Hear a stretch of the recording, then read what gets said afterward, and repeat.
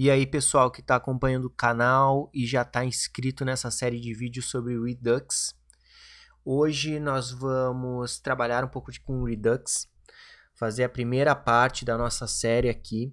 Esse vídeo é um pouco mais longo porque eu realmente não encontrei uma maneira de fazer ele mais simples e talvez não, acho que simples não é exatamente a palavra que eu estou buscando, mas de uma maneira que eu conseguisse desenvolver aqui e ao mesmo tempo vocês assimilassem o que está sendo feito. Eu preferi fazer de ponta a ponta é, uma ação de, com, com a biblioteca de Redux, porque eu acho que é a maneira mais simples, tá? Eu vi vários tutoriais de Redux, algum, vários vídeos de outras pessoas de Redux, é, e eu tentei pegar o melhor de tudo ali para passar isso para vocês, tá? Eu espero que vocês gostem e se vocês não estão inscritos no canal, aproveite, se inscreve, clica no sininho para receber as notificações aí de cada vídeo novo que eu postar. Essa série ela vai tratar de Firebase depois, tá? A gente vai trabalhar um pouco mais com Redux e depois a gente vai para Firebase é, para trabalhar com ele, tá? Que eu acho que é uma plataforma bem bacana, principalmente quando a gente trabalha com Redux. E eu queria também, ao mesmo tempo, não utilizar, por exemplo, MongoDB para não ter vários conceitos. Eu acho que o conceito do Firebase ele vai ele vai se encaixar bem legal nessa aplicação que a gente está fazendo aqui. Mais uma vez, se não está inscrito no canal, aproveita, se inscreve, clica no sininho aí, coloca essa série no seu playlist. Então vamos falar um pouquinho aqui de Redux, pessoal. É, basicamente, Redux é um container de estado previsível para aplicações JavaScript, nada mais do que está escrito aqui na tela, né? É, eu estou aqui na documentação, principalmente porque é o melhor lugar para obter informações sobre Redux. Então, Começando aqui, essa é praticamente a página inicial da documentação, tá? A primeiro momento não é tão simples, mas vocês vão ver que depois que a gente coloca um pouco de código em prática, não tem segredo nenhum. Então, basicamente é isso. É um container previsível de estado para aplicações JavaScript.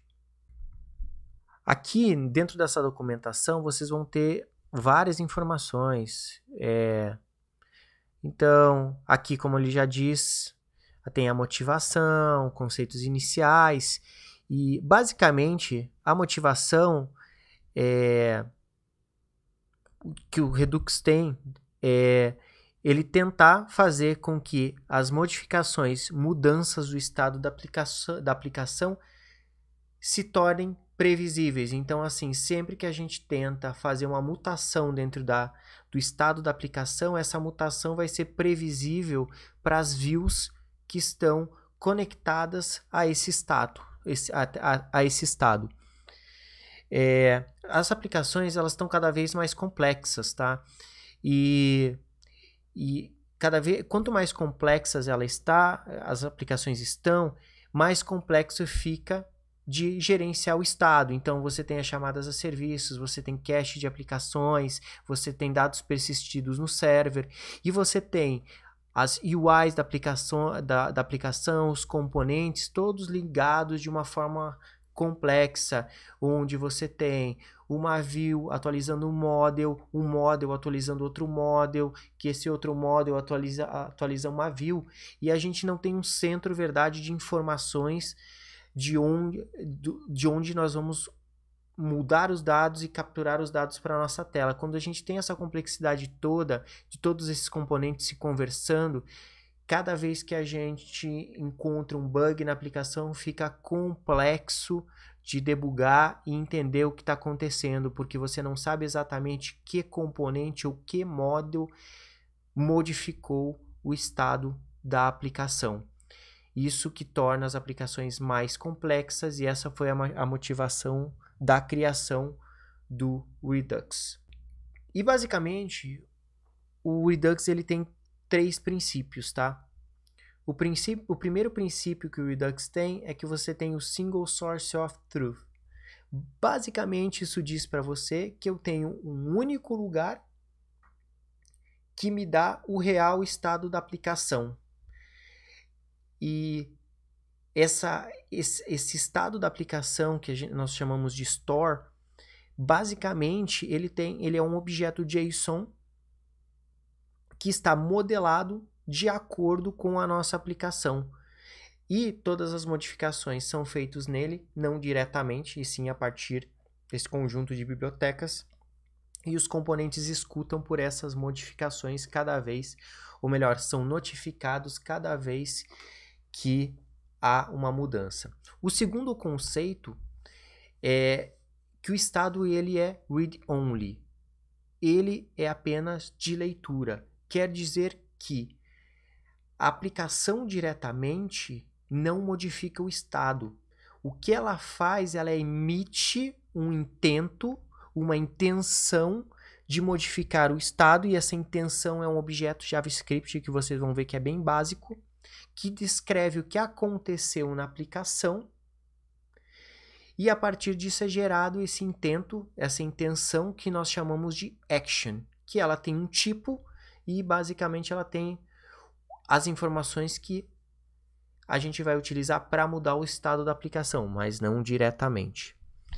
E todas as mudanças no estado da aplicação são feitas através de aplicações, opa, de aplicações puras.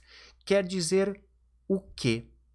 Que a gente tem uma aplicação que recebe o estado atual, né, o estado antigo, e através da, da avaliação de essa ação, desse intento que a gente faz para mudar o estado, ela vai retornar um novo estado da aplicação. Quer dizer que nós não mudamos a aplicação, o estado da aplicação, e sim, nós geramos um estado novo a partir de, um, de uma ação que foi executada na aplicação. Isso tudo é feito por baixo dos panos através de algumas informações, através de algumas funções que nós escrevemos no padrão aqui para a utilização do Redux. O tema parece um pouco complexo, mas vocês vão ver que no código não é tanto, tá? Então, o que nós vamos fazer nesse vídeo é criar as nossas ações, né? Que não são nada mais do que uma explicação do que ocorreu. Então, nós vamos criar essas ações, né? Que são um objeto, basicamente, como está aqui, a gente tem um tipo e a gente tem um corpo ou um payload aonde estão as informações do que ocorreu. E a partir dessas essas ações, elas são criadas no que chamamos de action creators, que nada mais é uma, do que uma função que retorna esse objeto JavaScript. A gente vai ter os nossos reducers. Então nós vamos ter os nossos reducers que vão fazer o quê? Através de uma através do recebimento do estado atual da da aplicação, mais uma ação, ele vai avaliar a ação e vai gerar um novo estado para a aplicação. Esse novo estado vai mutar o nosso estado, o nosso store, e, esse store, e o nosso store ele vai notificar a nossa view com as mudanças de estado. Através do estado anterior, o estado atual e da ação, fazemos a avaliação dessa ação e vamos fazer a mutação do estado, não diretamente, nós vamos criar um estado novo. Falando agora da nossa aplicação, é, a gente tem basicamente uma aplicação única, tá? Que tem um formulário, uma listagem. O ideal sempre, né, é a gente mudar os componentes, colocar um componente para o formulário, um componente para a nossa listagem, mas aqui a gente está utilizando uma aplicação única certo? Eu vou mostrar aqui no Developer Tools como a gente deveria fazer e como eu fiz aqui para ficar mais fácil, tá? Então, a gente tem um formulário, né? E a gente tem uma listagem dentro da nossa aplicação como um todo. O ideal é que a gente tivesse três componentes, pelo menos aí, mas eu resolvi fazer assim porque fica mais fácil de ver as coisas acontecendo com o Redux. Depois que você tem a base, fica mais tranquilo. O que eu fiz aqui é deixei a nossa aplicação preparada. Então, se a gente pode criar aqui uma nova pessoa ou como eu quero chamar aqui, adicionar uma pessoa, um add person. Se a gente clicar em salvar, que é a nossa ação, e depois a gente vai falar nisso, é o nosso intento, ele já recebe os dados do nosso formulário, né? Eu digo que está ali. E ali eu tenho também as nossas ações de edição, ou de seleção, e de remoção, que são basicamente os nossos três intentos que a gente vai trabalhar nesse nessa série de vídeos, pessoal. Eu deixei resolvi deixar pronta a aplicação React porque porque a gente já tem outros vídeos no canal, né? Dois, basicamente duas séries que falam bastante do React, como que a gente cria tudo isso. E eu resolvi adiantar para a gente focar mais na parte de Redux. Mas isso não quer dizer que a gente não vai dar uma olhada geral na aplicação agora para ver o que, o, que, o que eu fiz aqui e como está composta a nossa aplicação. Então, eu tenho um app.js, né? A gente criou essa aplicação aqui com Create React App. E deixamos padrão como está.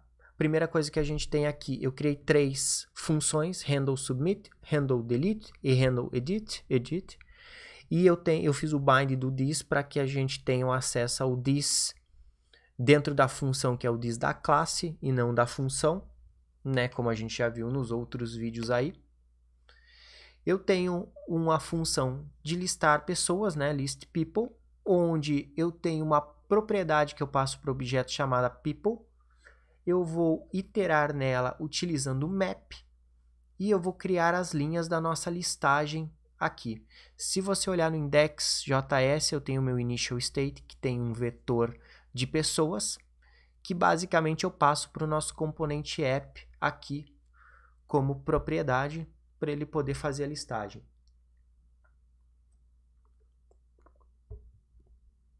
Então eu tenho acesso a ele aí. Depois vocês vão ver que eu vou receber esse acesso via Redux. Eu também tenho o on-click nos dois botões que chamam as nossas funções de handle edit e handle delete. Deixa eu até arrumar aqui, onde passo o ID da pessoa, né? Tem o nosso handle submit que faz o prevent default.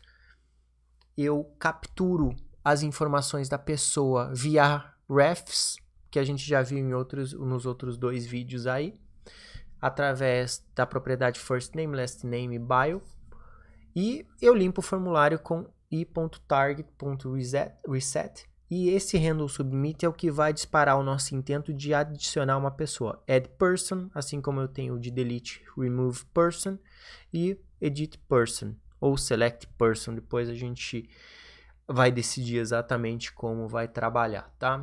Eu não pensei nesse vídeo até o final, resolvi fazer essa parte primeiro aqui.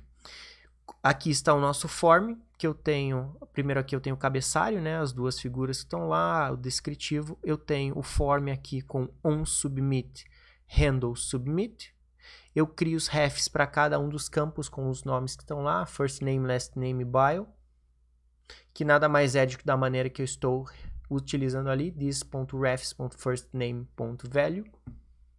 E eu tenho a nossa listagem que chama a nossa função que preenche cada uma das linhas dentro da nossa aplicação. Deixa eu salvar aqui porque eu fiz as edições aqui desse errinho que tinha ali. E basicamente a gente tem aqui no index o nosso initial state e o que a gente vai fazer aqui? Criar um store, criar um action creator, criar o nosso reducer e criar e prover a nossa aplicação. Não exatamente nessa mesma ordem, né? E aí nós vamos remover aqui essas properties aqui do initial state people e utilizar do Redux quando a gente prover a nossa store. Deixa eu apagar aqui, pessoal, e depois eu vou colocar exatamente a ordem que nós vamos criar aqui.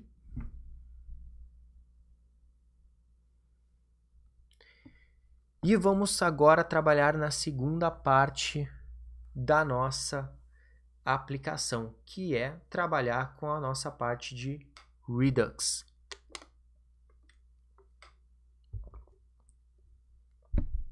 Bom, já tem a aplicação aqui, né? A gente vai ter praticamente uma ação que é o que a gente vai trabalhar hoje, que é de salvar, de save, que vai fazer um add. Depois a gente vai trabalhar no, no edit e no, e no delete.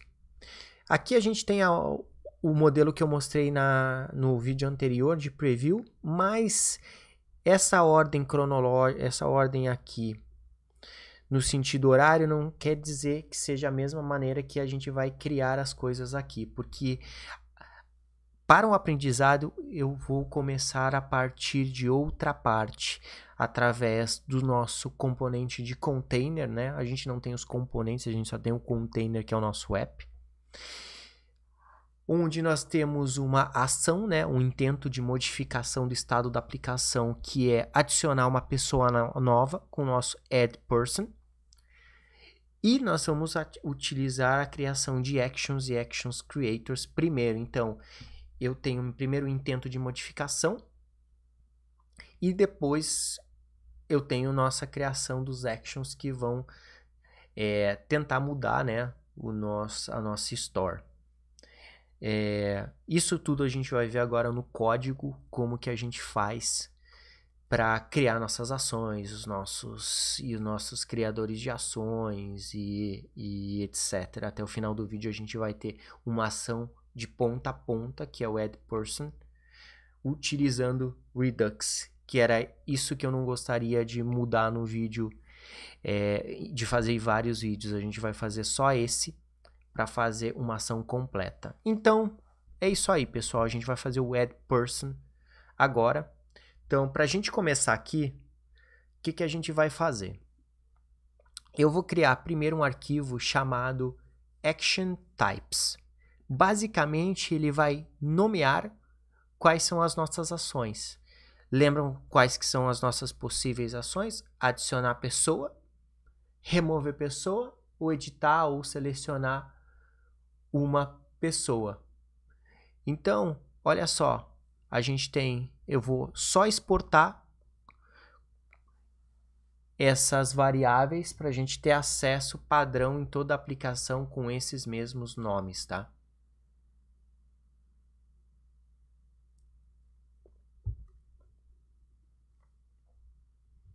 Então, criar aqui, vou colocar select person. Da mesma forma, pode ser edit person ou algo assim, tá? A gente pode mudar depois na, nos próximos vídeos, tá? Vou colocar edit, é, edit person, vamos deixar um edit person aqui. E depois, se a gente quiser mudar para selecionar, a gente seleciona. Então, eu criei meus tipos. Então, eu posso ter alguns tipos de ações que é adicionar, remover ou editar. Eu acho que até aí, pessoal, nada de novo. JavaScript normal, tá? Agora eu vou criar as nossas ações, os nossos intentos. Eu vou criar uma pasta chamada Actions e vou criar People Actions. Por quê? Porque se eu tivesse pessoas, posts, twitters, usuários, etc., provavelmente eu teria arquivos diferentes, né? Para para guardar as nossas ações. Nesse caso, a gente só tem um vetor de pessoas, que é no que a gente vai trabalhar nessa série de vídeos. E é o que a gente vai colocar aqui, a gente vai ter um arquivo único para isso, beleza?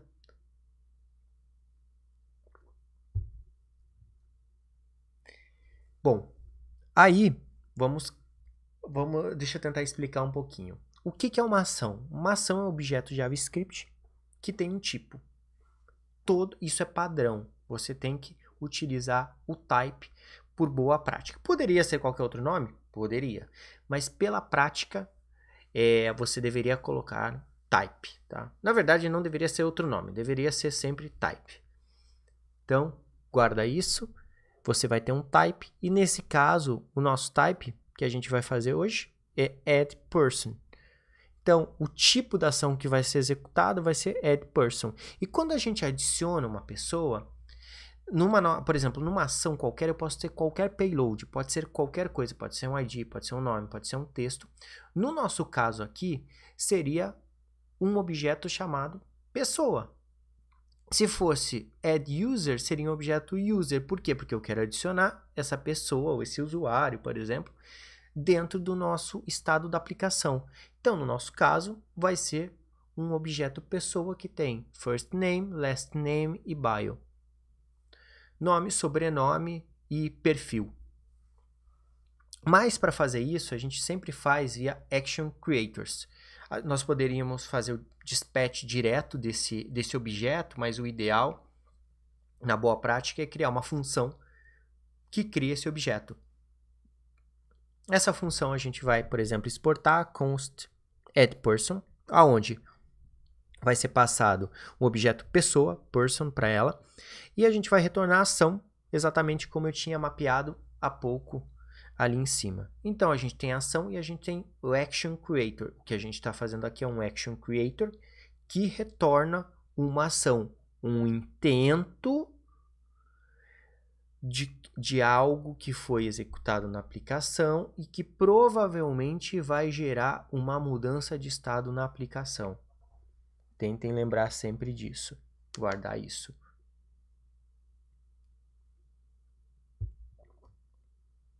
Desculpa aqui, pessoal, o barulho, eu tô tomando água, tá? Porque como esse vídeo é um pouco mais, mais longo, tá?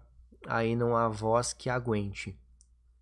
Então, só vamos fazer uma documentação aqui que você tem o, pa o parâmetro pessoa, que nada mais é do que um person object, que é nada mais um objeto do que a gente criou no, no, no nosso handle submit do app.js que eu mostrei há pouco para vocês.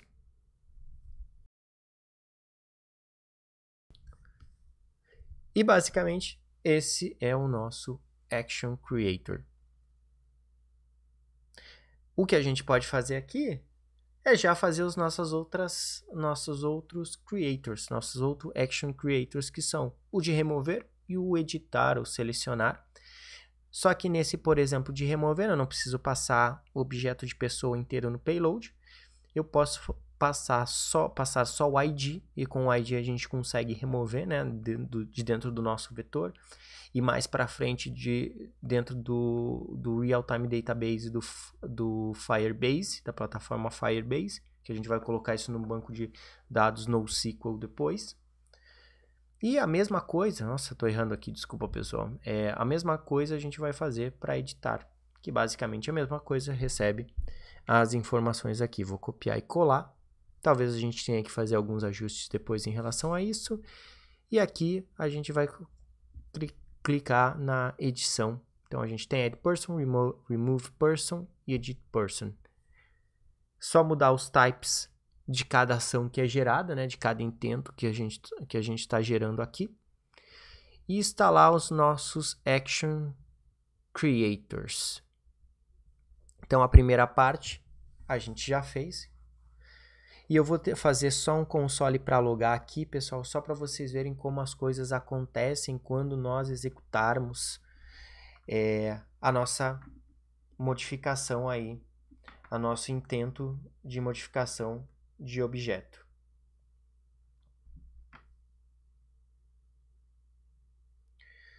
Então vamos lá aqui, Action Creator for Add Person. Acho que já é suficiente, né? Nós só, nós só vamos utilizar esse Action Creator agora, apenas este. Uh, vamos lá agora criar uma outra, uma outra pasta aqui para os nossos reducers, onde nós vamos criar um people reducer, né? .js, se você tivesse o reducer de usuário, posts, twitters é a mesma coisa, tá, pessoal?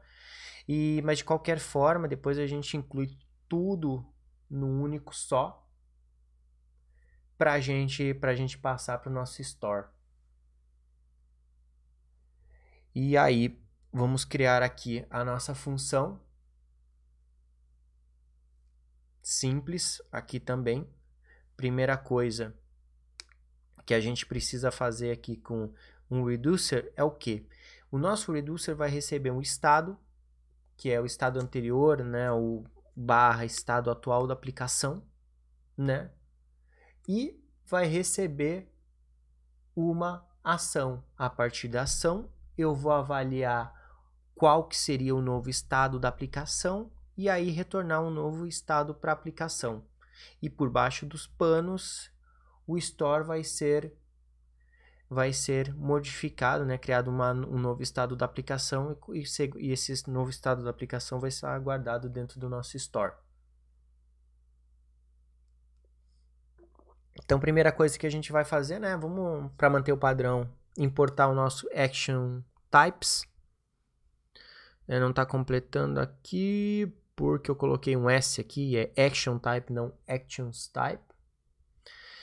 Add person que é o que a gente vai trabalhar hoje. Vamos exportar de novo, só que default aqui a nossa função, né? Posso colocar direto que não preciso colocar o nome de função, posso dizer que ela vai receber o estado. Se não for passado nada, eu já vou passar um, um valor default que é default que é um, um array vazio, tá? Isso é do ES6. Antes você poderia passar uma variável e entrar como indefinida, aí o que acontece é o seguinte, se eu passar um undefined, null, etc, ele já vai inicializar essa variável com um array vazio. E o que mais? Como segundo parâmetro, a gente passa o nosso action, e dentro do nosso, da nosso reducer, o que, que a gente tem? A gente tem um switch case para cada tipo de action type que a gente possa receber. No caso aqui, o que eu vou fazer? Como a gente cria a pessoa lá e eu não crio um ID e a gente não está gravando isso no banco ainda, etc., eu preciso criar um ID para a pessoa, tá? Então eu vou, eu vou pegar o payload, né? Que dentro do payload tem um person, certo? Lembra disso, pessoal? Então, eu vou adicionar aqui o payload e eu vou dizer que o ID do person to add vai ser igual ao nosso estado.length, que é o quê? Se eu tenho três, é, três pessoas dentro do nosso vetor, um terceiro vai ser o quarto. Então, a gente vai colocar o ID como o tamanho do nosso vetor mais um.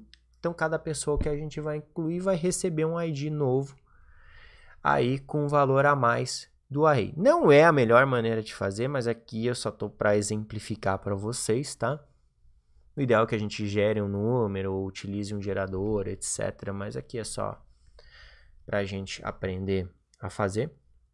E a tendência que qualquer um teria aqui é de fazer state.push e adicionar uma nova pessoa no array, no, no nosso vetor. Pessoal, isso está errado.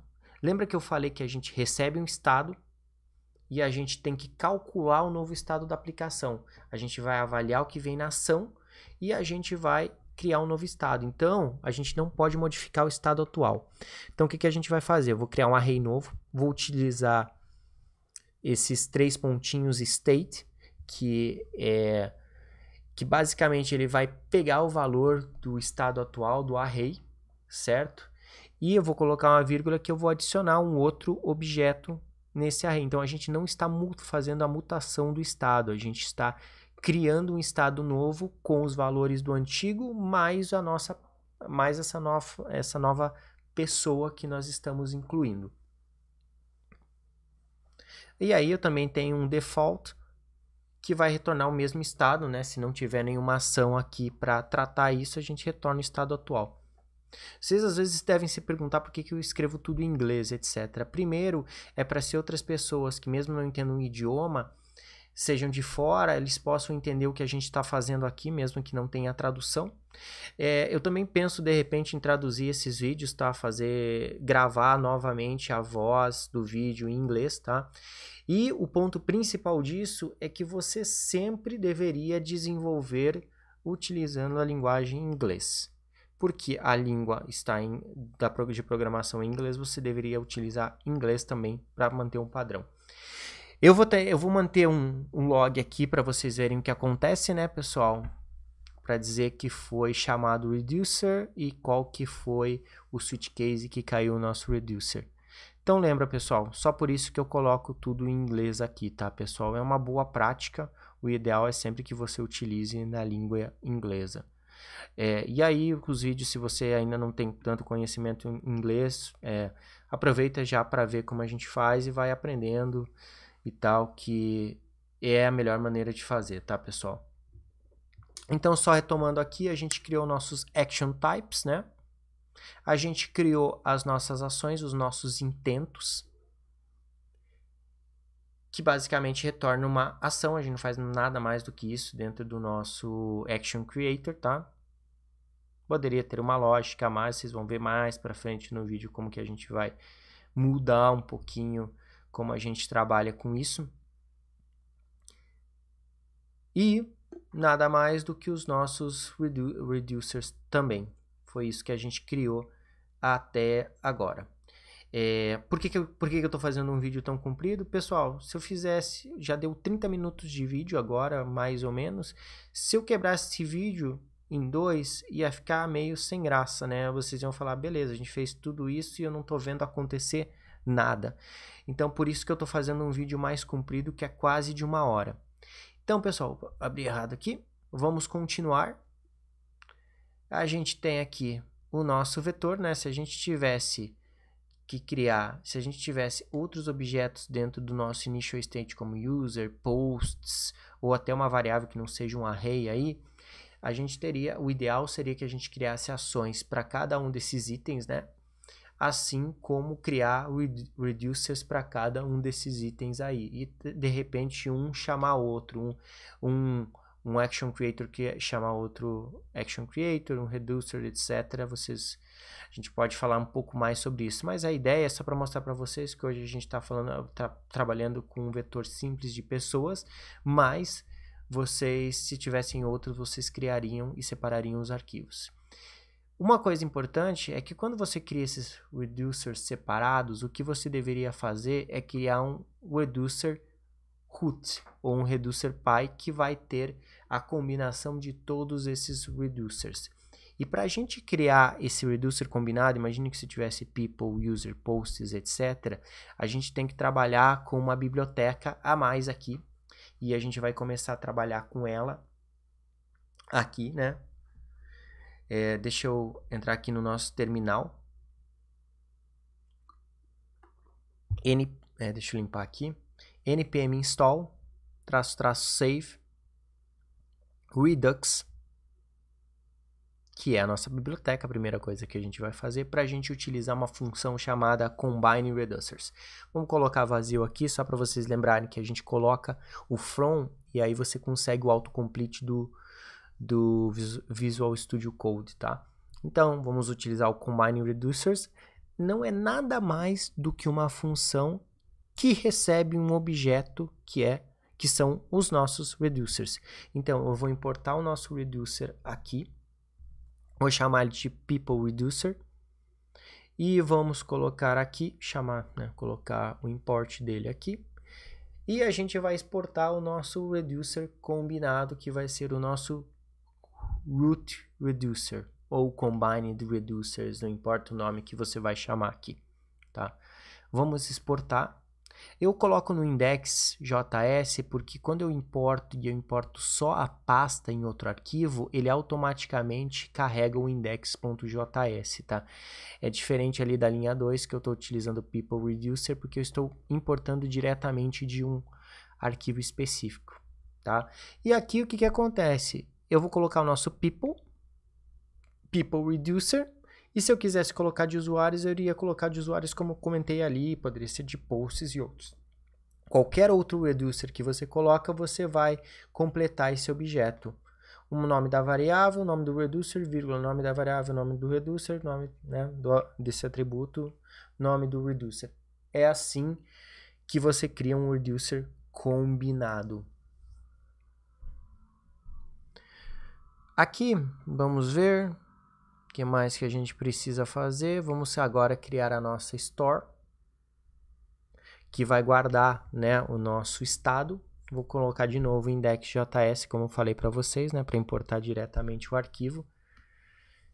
É, pode ver quando eu escolho o nome do arquivo, eu estou importando diretamente ele. Quando eu quero apenas importar da pasta, eu posso utilizar o index.js numa pasta, ele vai ser o arquivo padrão que vai ser o import quando ah, nós colocamos só o um nome da pasta. Então vamos colocar aqui um, um import que vai ser o nosso do nosso Redux de novo, tá?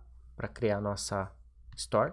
E adivinha só, create store é o nome da, do, da função que nós vamos utilizar.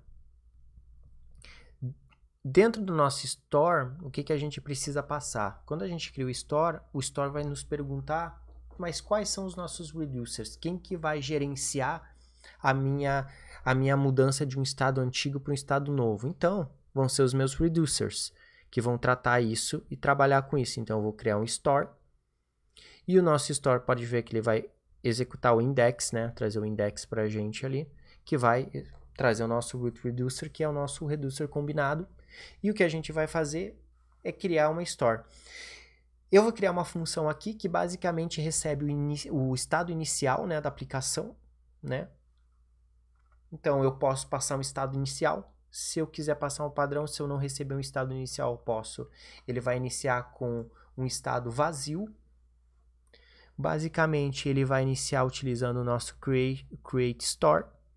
Né? Ele vai retornar a instância da nossa, do nosso store que basicamente o que a gente faz, passa os reducers que a gente tem, né? O nosso reducer combinado que vai tratar a mudança de estado e o nosso initial context.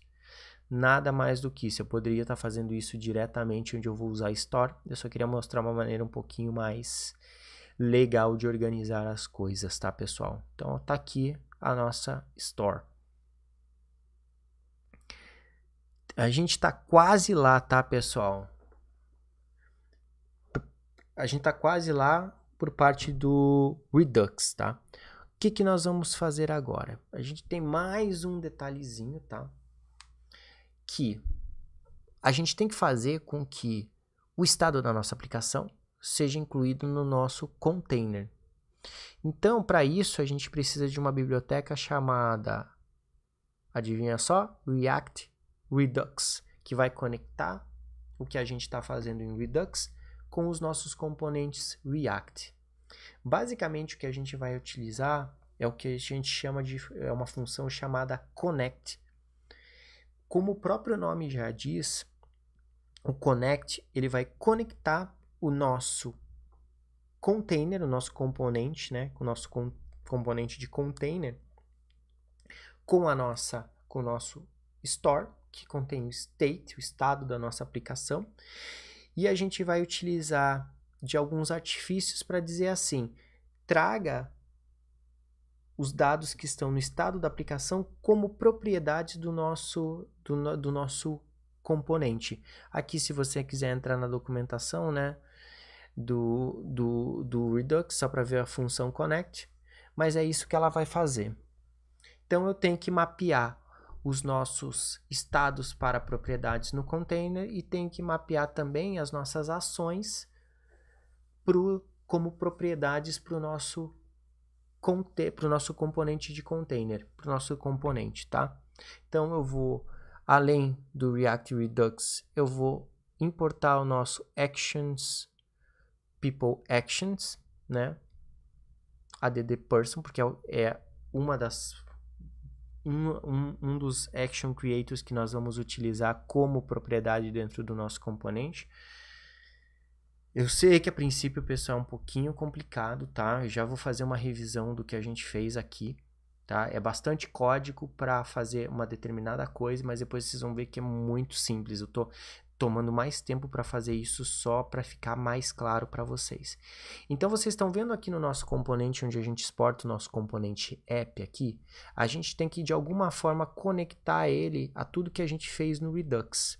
E para isso a gente tem um, por padrão algumas funções que a gente é, tem essa nomenclatura, que é o que? A primeira função que a gente quer fazer é o que? Trazer dados do estado como propriedades para o nosso objeto. Então, o que, que a gente vai fazer? Criar uma função chamada mapState to props. E aí que o inglês vem à tona, né? O que, que a função faz? Ela mapeia o estado para propriedades. A gente vai passar o state e as, nossas, e, e as propriedades, né? Que já existem.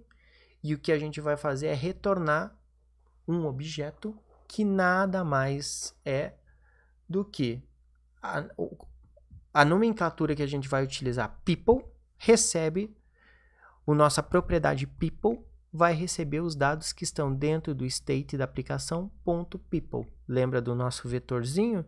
Se a gente tivesse outras informações, por exemplo, a gente colocaria aqui também. Se a gente tivesse users, posts, etc., e quisesse utilizar essa parte dos dados aplicações, a gente utiliza, utilizaria ali.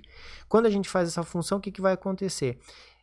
this.props.people vai ter os, os dados que estão no estado do store do Redux. Basicamente isso que a gente está fazendo aqui. E como a gente tem isso, a gente tem as nossas ações, que também a gente quer acessar via props, como a gente normalmente faz no, no, no React em geral. E aí a gente tem outra função que é map dispatch to props. O que, que as nossas ações fazem? Elas disparam mudança, solicitações ou solicitações de mudança né, de eventos para nosso store. Então, o que, que vai acontecer? Eu vou fazer um mapeamento dos dispatches para propriedades. Então, dos nossos, eu vou mapear os nossos actions creators que estão, que nós criamos aqui, para propriedades dentro do nosso do nosso component. E aí a gente vai poder dizer assim, this.props.add person, por exemplo, e a gente e ele vai passar por todo esse fluxo do Redux. Então aqui, ó, basicamente igual mapstate.props, você vai criar um nome que pode ser qualquer um. Nesse caso eu escolhi utilizar o mesmo nome e aí ele vai receber uma, uma variável chamada person e vai fazer um dispatch.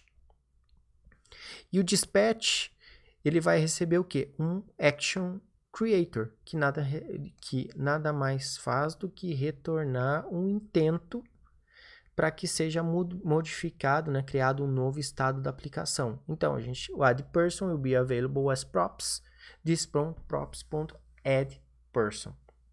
E aqui vem a mágica da coisa, pessoal. A gente tira o app, a gente vai chamar a nossa função connect, e os parâmetros da função connect vão ser o map state to props, e o map dispatch to props.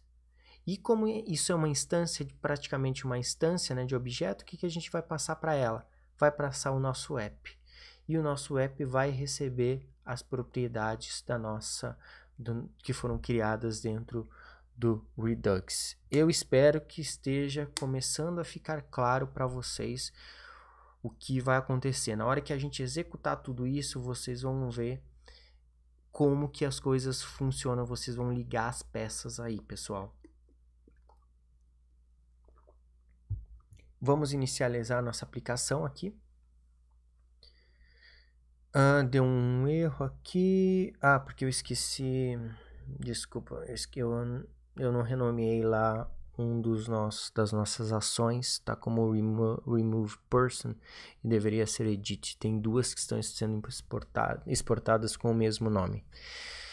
Então vamos ver aqui, People Actions, entrar no People Actions, olha só, eu tenho duas funções, a na 19 e na 30, que tem o mesmo nome e eu estou exportando elas, não posso fazer isso. Salvar aqui. Agora eu tenho um erro, could not find store. Ah, claro. Eu, como eu estou utilizando a função connect, falta o último passo de todo, todas essas coisas que nós já criamos aqui. A gente já tem a store, qual que é o último passo? Eu tenho que prover a, a, o nosso store para o nosso componente. Então, que, qual que, o que foi a primeira coisa que a gente criou? A gente criou as nossas ações. Aí a gente criou os nossos action creators. A gente definiu nossas ações, né? Criou nossos actions, action creators. Aí a gente criou o nosso reducer, certo? Aí nós criamos a store. A gente mexeu no nosso componente, só que faltou prover store para o componente. A gente está conectando o Redux ao nosso componente, só que nós ainda não criamos a nossa store realmente né, não inicializamos a nossa store e não provemos ela para a nossa aplicação. Então vamos lá, pessoal, lá no React Redux, a gente vai importar o que chamam de provider, que vai prover a nossa store, tá, para nossa aplicação. E aí, deixa eu dar um clicar uns, dar uns enters aqui, pessoal, só para dar uma arrumadinha para vocês verem o que vai acontecer. O meu app ele vai se manter ali, tá? Mas a gente não precisa mais passar o estado inicial, porque o nosso estado inicial vai ser provido por esse componente que a gente importou agora e vai e esse componente ele vai linkar a nossa o nosso store que está guardando o estado da nossa aplicação ao nosso componente. Então, meio que parecido com o que é feito com o React Router, a gente vai colocar o app dentro do provider e o provider o que, que ele faz? Ele provê algo. Então ele provê a nossa store para nossa aplicação. Então eu vou passar a nossa store. Só que eu ainda não criei. Eu estou criando um store que é, no, que é a propriedade do provider, só que eu tenho que criar a nossa store. Então, para criar a nossa store, nós vamos ter que importar, né? aquele arquivo que nós criamos lá de store index.js, então asterisco from, aí desculpa, import from, aí a gente coloca aqui ponto barra store, e a gente pode dar um nome, por exemplo, configure store, initialize store, blá, pode ser qualquer coisa, tá? Porque eu não nomeei aqui, eu estou fazendo só o export de uma função. Vou colocar como configure store, e o que, que a gente faz? A gente vai criar a nossa store passando o nosso initial state, que esse initial state hoje está com um objeto fixo, mas ele poderia ser uma chamada a uma API para inicializar a nossa aplicação. Então, eu vou criar uma constante store, configure store que nós importamos ali, passando com o, o initial state. E olha só, pessoal, o nosso initial, o nosso estado já está vindo da store do Redux.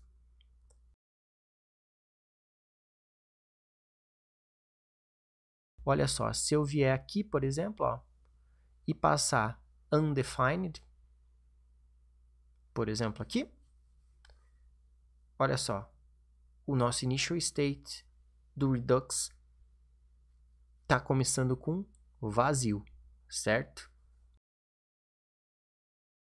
Se eu tirar, por exemplo, um dos itens e voltar aqui, olha só, pessoal. Ele está removendo do estado, tá? Só para vocês verem que está inicializando o estado utilizando o store do Redux. Bom, espero que vocês tenham ligado mais ou menos os pontos aqui, né? O que, que a gente vai fazer agora? A gente vai adicionar uma pessoa, né, pessoal? A gente criou um Action Creator, criou um reduce, Reducer, Reducer, desculpa, etc. E o que a gente vai fazer agora é utilizar esse dispatch que nós colocamos aqui para incluir uma pessoa e, e, criar um novo estado da aplicação. Então, aqui no handle submit, que a gente já tinha aqui, o que, que nós vamos fazer? Basicamente, this.props lembra que vem sempre como propriedades, o nome que a gente criou lá embaixo, e passa person. Basicamente, olha só, vou salvar a aplicação, certo? Eu vou entrar aqui no Chrome. Vamos abrir aqui, porque eu coloquei uns consoles.log. Você pode ver que quando eu inicializo, ele pode ver que os reducers já são chamados, mas nenhuma ação foi executada, né? Vou limpar aqui. Ele sempre faz isso, porque está entrando no reducer quando a gente inicializa, só que a gente não passou ação nenhuma, ele cai no default. Vou criar aqui Developer Deck 101, Teaching New Web Technology Step by Step, né? Ensinando novas tecnologias web passo a passo e vou clicar em Save. Olha só, entrou no nosso Action Creator, adicionou no state e automaticamente atualizou a nossa aplicação, o estado da nossa aplicação, né?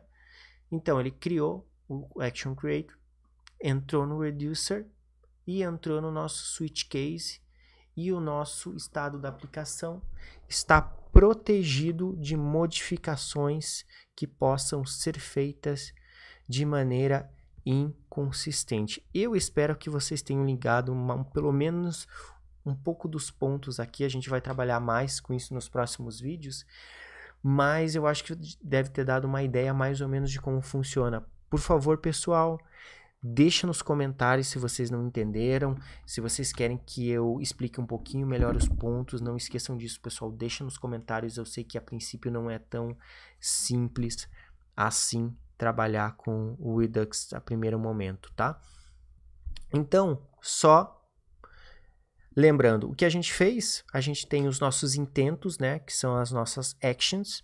Para a gente criar as actions, uma boa prática é você criar seus Action Creators. E aí você tem vários. Aqui a gente criou o Add Person que utilizou. Então, a gente está cria criando aqui o nosso Action Creator, que é o segundo passo, né? Depois a gente foi lá e criou o Reducer, que vai receber o estado atual da aplicação e mais um Action.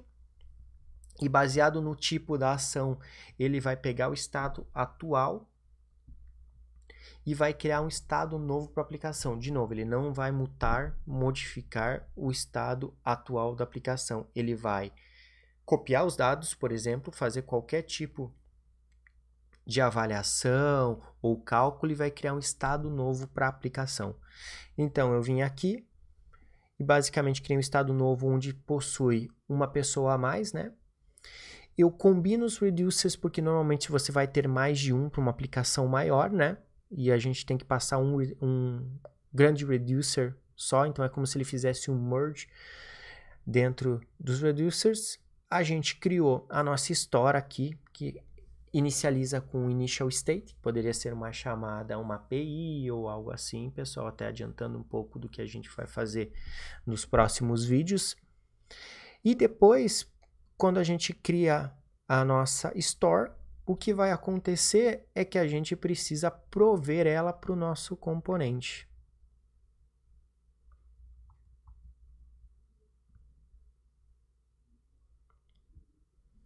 Então eu uso o nosso provider do React Redux que vai conectar nossa aplicação. Hum, e que mais, né? Então o que a gente fez aqui? A gente mexeu no nosso componente, né? Criou a nossa ação, etc. A gente criou o nosso reducer, certo? E o que a gente fez também foi conectar o nosso componente a tudo que a gente desenvolveu no reducer, fazendo com que o que está no estado venha como propriedades do nosso do nosso do nosso componente. Utilizando map state to props, então a gente poderia usar qualquer nome, né? A maneira que você quiser utilizar. E se você tiver outros itens dentro do state, você poderia chamar aqui, mas você não precisa trazer todos de uma vez para esse, componente, né? Cada componente vai ter o seu. E a gente coloca como propriedades também o dispatch, né? Que basicamente a gente envia uma ação para dentro do Redux para ser executado, né? Junto aos, nosso, junto aos nossos reducers, é basicamente o que a gente está fazendo assim. Dispara, né? Faz um dispatch, dispara uma, uma ação para dentro do para dentro do reducer, o reducer vai tratar e se em algum momento vai atualizar o estado como está acontecendo na nossa aplicação. Então aqui entrando de novo só aqui no site do Redux, pessoal. Lembrando, a gente tem os conceitos core, né? A gente tem os três princípios aqui, single source of truth, que basicamente vai te dar um único lugar aonde você vai incluir as informações de status da aplicação e é o único lugar aonde você consulta esses status, status da aplicação. Então você não vai consultar vários models ou vários serviços, cache, etc, para mostrar a sua os, os, a sua tela, né, a sua interface de usuário. Você vai num único lugar. O status, o estado ele é ele é apenas de leitura, então você nunca modifica esse estado diretamente, você tem que passar pelos teus reducers, né? Para que eles para que eles decidam como esse estado vai mudar, vai ser vai ser criado um novo estado. E, essa, e os reducers são aplicações puras aonde não tem efeitos colaterais, tá? Eles não chamam outros serviços, etc. É, Para chamar, você, você provavelmente, se você ligou todos os pontos aqui, né? Você deve estar se perguntando, ah, mas se eu precisar chamar uma API, porque normalmente eu vou chamar uma API e depois eu vou atualizar o estado. Pessoal, eu vou falar disso no, provavelmente no próximo vídeo, tá? Onde a gente vai utilizar, por exemplo, o, o Tank, React Tank,